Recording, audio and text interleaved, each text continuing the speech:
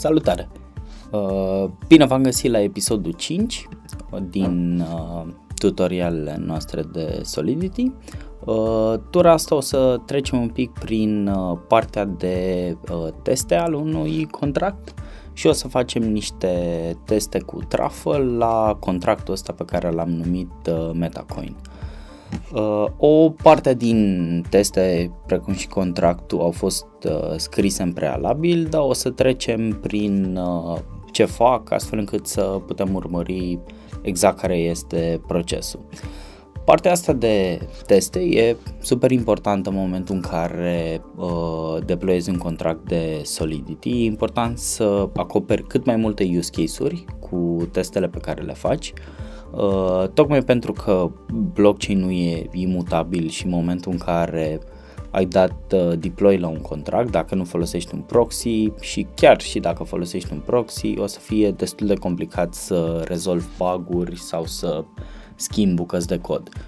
Așa că cel mai bine e să te pregătești și să uh, faci din prima lucrurile ca la carte, să implementezi uh, toate testele pe cazurile la care te poți gândi, măcar pe cazurile uzuale din uh, contract.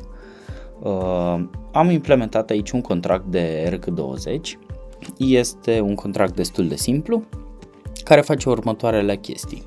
Uh, moștenește uh, contractul de Open Zeppelin de RC20, așa că are by default toate funcțiile pe care le are un RC20 din uh, uh, librăria Open Zeppelin, transfer, uh, mint, burn, uh, balanțele și așa mai departe.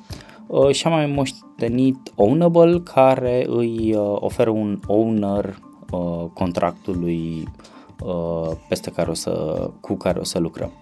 Uh, în constructor se apelează funcție internă de mint și se dau către ownerul contractului care apelează constructorul 10.000 de uh, tokens. Avem o funcție de mint și o funcție de burn care pot fi apelate doar de către owner și se pot uh, minta sau uh, se pot arde uh, numărul, un număr specificat de tokenuri de către owner. Ce e un pic mai uh, out of the ordinary la contractul ăsta este funcția asta de mint reward. Funcția de mint reward uh, permite unui utilizator uh, ca o dată pe zi să primească 1000 de tokens dacă apelează această funcție. Uh, aici în require vedem că uh, trebuie să existe o diferență între uh, timpul curent al blockchain-ului și ultima oară când a mintat, când uh, a mintat reward-ul utilizatorul de 86.400 de secunde, adică mai mult sau mai puțin o zi. Uh, în momentul în care trece de acest require, se updatează în last mint de message sender timestamp-ul și se uh, mintează pentru cel ce a apelat funcția 1000 de tokens. Pe contractul ăsta o să testăm uh, cele mai comune use case-uri, precum și uh, acest use case de mint reward. În Truffle, uh, testele se găsesc în folderul de test. Uh, structura uh, acestor fișiere o să fie în felul următor. Uh, o să specificăm ce contract folosim cu numele lui și uh, conturile uh, de pe blockchain-ul la care suntem legați. În Truffle Config uh, avem uh, Ganache, care este pe network de development, deci uh, testele vor folosi în spate uh, Ganache. Bun. Testul ăsta uh, începe uh, practic cu o descriere de ce ar trebui să testeze. Aici poți scrie orice. Uh, în cazul acestui test uh, se verifică faptul că în uh, primul, uh, în primul cont uh, deployat se mintează cele 10.000 de tokens din constructor. Vedem aici că în constructor se mintează tokenurile. Testele se pot face în două feluri. Uh, poți să folosești uh, denuri pentru că de fiecare dată când comunici cu uh, contractul, uh, tu de fapt uh, creezi un promis. Uh, iar cu promisurile poți să lucrezi uh, folosind .den sau poți să lucrezi pe, cu await-uri. În cazul nostru, testul ăsta este echivalent cu testul ăsta. Dar primul test este făcut uh, sincron, adică s-au folosit punctenuri, al doilea test, test este făcut asincron. Uh, adică am folosit uh, await-uri și am așteptat uh, să terminăm fiecare uh, call de contract. Uh, ca să uh, verificăm uh, faptul că ceea ce previzionăm noi se întâmplă cu adevărat, o să folosim asertul. Uh, asertul uh, poate avea mai multe uh, proprietăți. Mm, cel mai des folosit e equal pentru că te uiți dacă o valoare este cea pe care o aștepți.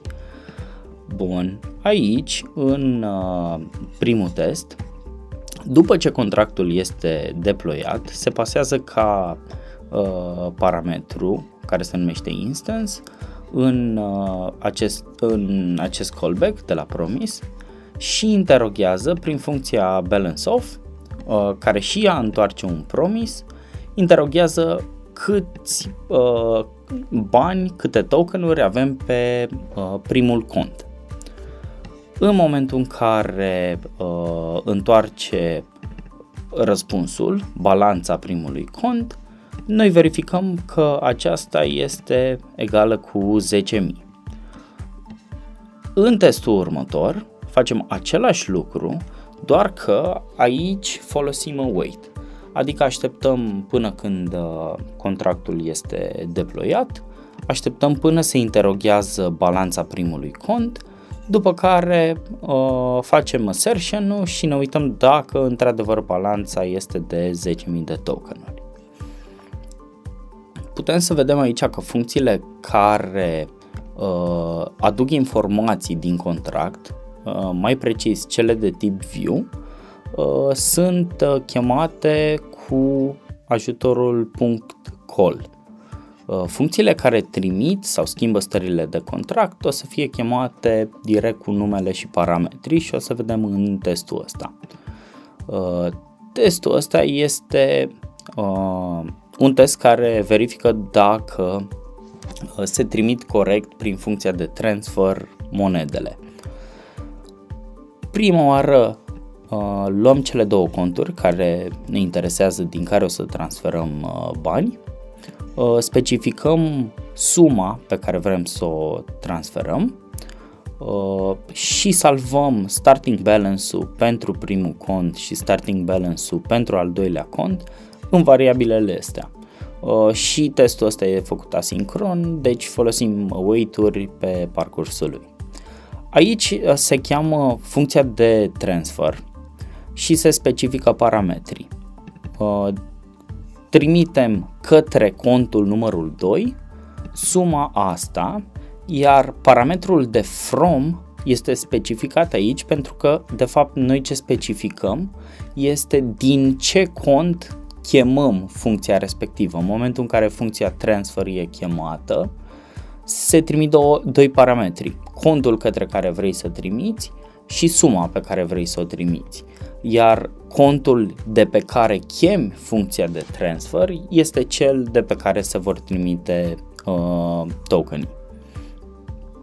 După ce executăm transferul, ne uităm din nou la, sta- la ending balance-ul contului 1 și la ending balance-ul contului 2.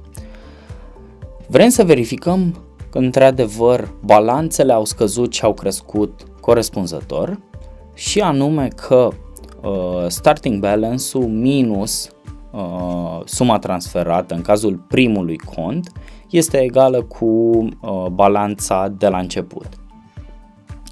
În al doilea assert vrem să verificăm că uh, starting balance-ul plus amount transferred este egal cu uh, ending balance-ul pentru că am trimis monedele din primul în al doilea cont. Cam asta este un test de transfer pentru contractul de RG20 pe care l-am făcut.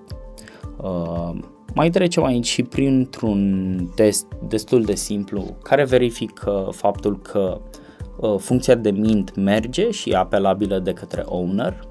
Uh, by default, accountul din care se dă deploy la contract este account 1 sau cel pe care îl găsiți în accounts de 0. Uh, în momentul în care se deployează contractul, uh, poate fi specificat aici în migrations că se deployează de pe account uh, de 1 sau un alt cont, dar by default el se deployează de pe account de 0. Așa că tot acel cont va fi ownerul contractului, deci ne așteptăm să aibă dreptul de a face mint.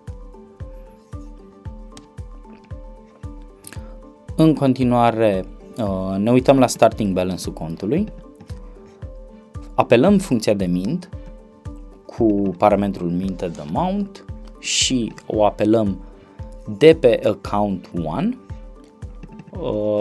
după care comparăm că ending balance minus start balance este egal cu numărul de tokenuri pe care am vrut să le mintăm. Ok. Ca să rulăm testele, scriem în consolă în folderul curent npx truffle test. Uh, trebuie să fim atenți să avem și ganașul pornit. Și evident configurat în uh, truffle config, în development network.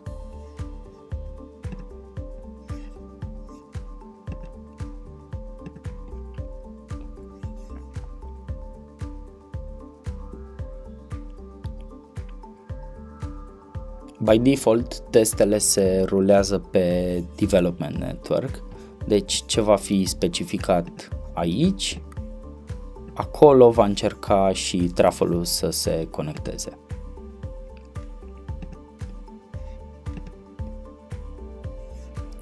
Ok.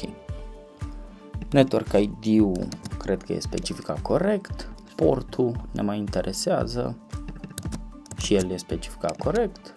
Acum ar trebui să putem să rulăm testele.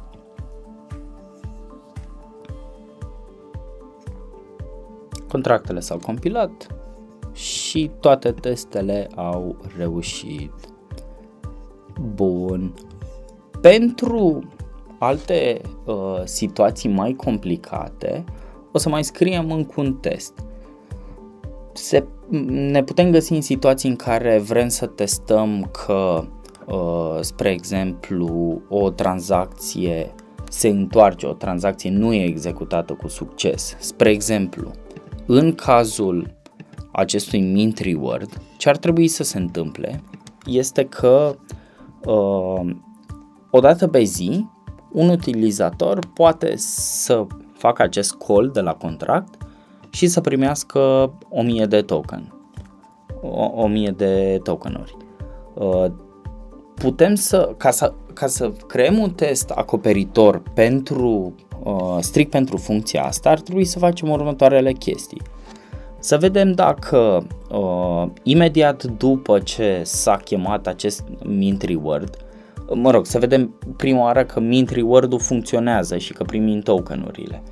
2. Trebuie să vedem că nu avem voie să chemăm, de exemplu, imediat după același mint reward și să mai primim încă o dată această recompensă.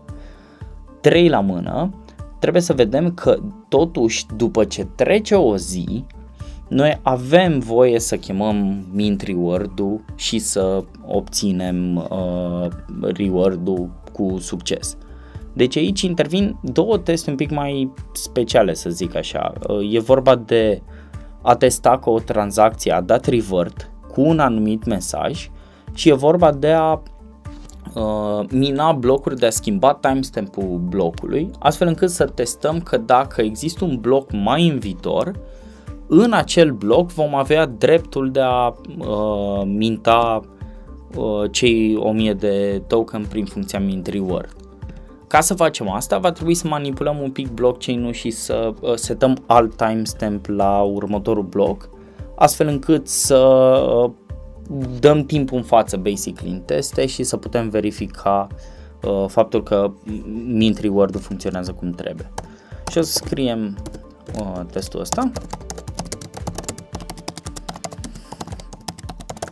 Should mint reward properly. O să facem tot o funcție asincronă ca să putem să folosim await-uri și să nu ne complicăm cu punct denuri. Bun, și avem nevoie așa de un cont. Hai să nu punem owner, o să punem account to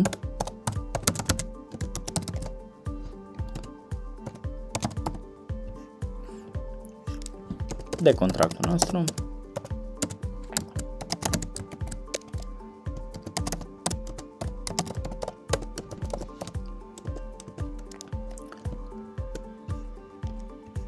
o să ne mai trebuiască și variabila asta auxiliar. Și acum o să începem ca mai sus prin a vedea câte monede se află pe contul uh, cu care lucrăm. Deci o să uh, ne uităm la count 2 și o să vedem ce număr de, de monede se află în starting balance-ului. După ce am aflat care e starting balance-ul, o să chemăm odată funcția de uh, mint reward cu account to și aici ne așteptăm să meargă. Mint reward nu are niciun parametru, dar ca să specificăm că este chemată de account number 2, o să trebuiască să specificăm în ultimul parametru al funcției mint reward de aici, uh, în datele tranzacției, practic from-ul care o să fie account to. O să rulăm testele așa, să vedem că funcționează până aici și că nu primim vreun revert când uh, facem apelul ăsta. Ok, am primit un revert. Cannot read property. Call of undefined. Da, pentru că n-am pus aici await și uh, în variabila meta practic am avut doar un promis pentru că n-am pus acolo await. Bun, acum s-a mintat uh, reward-ul cum trebuie. Și acum o să mai dau un mint reward de pe același cont și aici mă aștept ca testul să crape, pentru că această tranzacție ar trebui să-și dea revert, pentru că sunt făcute consecutiv și ar trebui să așteptăm o zi între două instanțe de mint reward. Ok, ne-a dat un revert, dar uh, în niște teste frumos făcute vrem să ne așteptăm la un river cu un mesaj, de exemplu, și nu vrem să crape. Vrem să treacă testul dacă primim revert. Și atunci eu am folosit librăria asta de truffle assert. Cum se folosește este că în loc să chemăm pur și simplu funcția, punem truffle assert, punct reverts, trimitem funcția fără await, în schimb aici va trebui să spunem await, trimitem funcția fără await și mesajul cu care prezicem noi că o să uh, dea revert uh, funcția. Ok. Deci am chemat aceeași funcție din nou, dar în truffleassert.reverts și ne așteptăm să, să dea revert cu mesajul ăsta. Uh, deci acum dacă uh, rulez uh, truffle test, ar trebui să treacă și să primim bifă cu 5 teste pest. Ok, perfect. Ca să ne asigurăm că am făcut bine ce am făcut, modificăm puțin mesajul și atunci n-ar trebui să mai uh, treacă testul pentru că este uh, ne așteptăm la un mesaj de revert care nu seamănă cu ce, ce o să primim noi. Și vedem că într-adevăr testul a failat, ne zice și destul de specific ce s-a întâmplat și anume că nu am primit mesajul de river pe care l-am așteptat. Ok, cam asta e partea de a aștepta să primești un revert. Și o chestie necesară atunci când uh, implementezi teste pentru că uh, de multe ori Astea sunt use case-urile pe care vrei să le testezi, că în momentul în care se întâmplă un lucru nepotrivit sau care nu vrei să se întâmple sau care nu e ok pentru logica contractului, uh, reverturile și require-urile din contract într-adevăr aruncă excepția și dau și un mesaj uh, specific. Mai avem o parte aici și anume testele de timp. Vrem totuși să vedem în cadrul testului ăstuia că peste o zi vom putea totuși să uh, chemăm încă o dată de la aceeași adresă uh, acest mint reward și să primim uh, reward-ul potrivit. Uh, ca pe, de dragul completitudinii acestui test o să vreau să mai fac și un uh, balance check după prima dată când chemăm acest mint reward și să vedem că într-adevăr uh, am primit cele 1000 de tokenuri din revert. Balance after first reward o să zic. O să ne mai facem aici o constantă care reprezintă numărul de tokenuri pe care îi primim ca și uh, reward. După ce am apelat mint reward, uh, în variabila asta o să avem noua balanță, așa că ce trebuie noi să facem acum este să ne așteptăm ca balanța nouă uh, minus balanța veche, adică starting balance-ul, să fie egală cu reward-ul pe care l-am stabilit și mai rulăm încă o dată testul, să sperăm că vom avea succes. Ok. Acum, vrem să vedem că după ce mai trece o zi, o să putem într-adevăr să mai luăm încă o dată reward-ul. Și atunci, va trebui să facem, uh, da, dacă vrem să facem noi o funcție care implementează uh, chestiile astea, va trebui să lucrăm cu Web3 direct. Dar uh, ca să nu lucrăm direct cu Web3 și să ne folosim de un lib, care deja e acolo online, eu am folosit uh, Truffle Test Helpers, care îți oferă niște chestii destul de mișto cu care poți să lucrezi și să dai uh, increase time la bloc, îți uh, arată și latest time-ul blocului și mai ai și niște funcții de duration uh, care îți socotește el direct uh, în secunde, așa cum vrea de fapt Solidity-ul. Ok, și primul lucru pe care trebuie să-l facem este să vedem în ce moment suntem acum, în, imediat după ce am chemat prima oară uh, mint reward-ul. Și ca să facem chestia asta, ne facem aici o variabilă current time care va fi latest time. Latest time este din Truffle Test Helpers și ar trebui să fie un promise care întoarce uh, la un moment dat time-ul. După ce avem uh, latest time, vrem să mutăm timpul, să dăm timpul în față cu uh, o zi și să testăm dacă după o zi avem posibilitatea de a chema cu succes uh, uh, mint reward-ul. Așa că ce putem să facem este să folosim funcția asta de increase time to. Către increase time to trebuie să dăm current time, uh, timpul la care the current time plus duration, uh, unde duration nu e diferența de timp uh, pe care vrem să o avansăm. În cazul nostru vom trimite ca parametru current time plus duration.days de 1. Funcția asta duration.days dă o zi în secunde cel mai probabil cum are nevoie uh, Solidity-ul. Uh, și aici va trebui să mai dăm un await. Și acum că am avansat blocul o zi, vrem să mai apelăm încă o dată mint reward și nu doar atât, vrem să fim siguri că s-a întâmplat ce trebuie și anume că am primit reward-ul. Deci, balance, uh, mai, mai trebuie să verificăm încă o dată balanța. Și o să numim ending balance.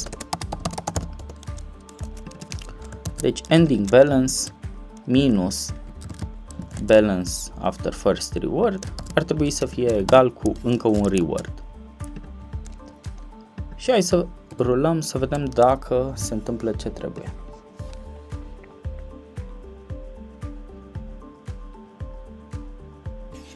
Da, a reușit testul. Uh, ca să fim siguri, încă o dată că totul e în regulă, o să punem aici în loc de days 1, o să punem hours 5. Și o să încercăm să rulăm încă o dată testul, să vedem că uh, nu e suficient 5 ore pentru a trece uh, de require-ul din Solidity. Și într-adevăr tranzacția a dat revert, deci ce am făcut noi aici e corect din punct de vedere logic și al implementării. Uh, cu ce mi-ar plăcea să rămâi după video ăsta este că pentru o funcție atât de simplă cum e asta, mint reward care are trei rânduri, un require, un uh, loc în care ne uh, declarăm ultimul timestamp în care funcția a fost interogată și un mint, a fost nevoie ca să testăm toate cazurile de bucata asta întreagă de cod. A fost nevoie să instalăm două librării, deci nu doar că am scris niște cod ca să testăm toate cazurile, uh, ci a fost și nevoie să instalăm două librării. Uh, și concluzia pe care vreau eu să o uh, împing mai departe este că partea grea la orice dezvolți în Solidity nu e neapărat să scrii, să torn cod. Uh, programarea în Solidity diferă din punctul ăsta de vedere de programarea unde, nu știu, trebuie să faci o platformă și trebuie să mm, scoți volum de cod. Nu, de multe ori în Solidity scrii 200 de rânduri în contract, dar diferența între a livra o chestie de calitate în uh, nișa asta uh, și a livra o chestie care respectă requirement-urile, dar cine știe când crapă, o fac testele. În momentul în care ai un contract complicat, e foarte recomandat să treci prin toate use case-urile logice care pot exista și să faci niște teste acoperitoare. Spre exemplu, ăsta aș considera eu, probabil că se poate duce și mai departe și se poate testa și mai mult la funcția asta, dar eu aș considera că ăsta este, de exemplu, un test acoperitor pentru funcția asta de mint reward. Și într-adevăr nu e, nu e o chestie super easy, adică ar trebui să ne jucăm un pic cu blockchain-ul, să mutăm bloc mai departe, să uh, instalăm librării ca să ne așteptăm la anumite revert-uri. Uh, deci am scris mult mai mult, ne-am chinuit mult mai mult la cod decât ne-am chinuit la funcția de Solidity. Dar chestia asta pays off și în momentul în care vrei să livrezi calitate pe nișa asta, trebuie să livrezi niște teste super competente care îți acopere toate use case-urile din, din contract. Uh, tot testele te vor ajuta să auditezi, de exemplu, contracte, Uh, și asta e o bună bucată din uh, ce fac developerii de Solidity. Primesc contracte gata făcute sau contracte care deja sunt deployate și studiază dacă nu cumva există scăpări de logică, scăpări uh, de implementare, baguri uh, și fac asta odată urmărind logica din contracte și doi uh, implementând teste de genul ăsta. uh, care, repet, sunt super importante pentru um, cariera ta de Solidity Developer. Uh, sper că a fost util și sper că am trecut prin niște chestii cât de cât acoperitoare pentru teste. Eu m-am gândit la astea trei situații. Situația basic în care pur și simplu ai de verificat niște coluri și ce sume, ce numere rezultă de acolo. Situația în care trebuie să verifici că o tranzacție într-adevăr și-a dat revert în punctul în care te-ai aștepta și cu un anumit mesaj și situația în care trebuie să treacă un anumit timp până când se, se întâmplă ceva. Cu astea cred că poți acoperi mare parte din uh, ce ai nevoie să, să testezi în uh, Solidity. Mersi mult că m-ai urmărit, te salut și sper că ți-a fost de folos.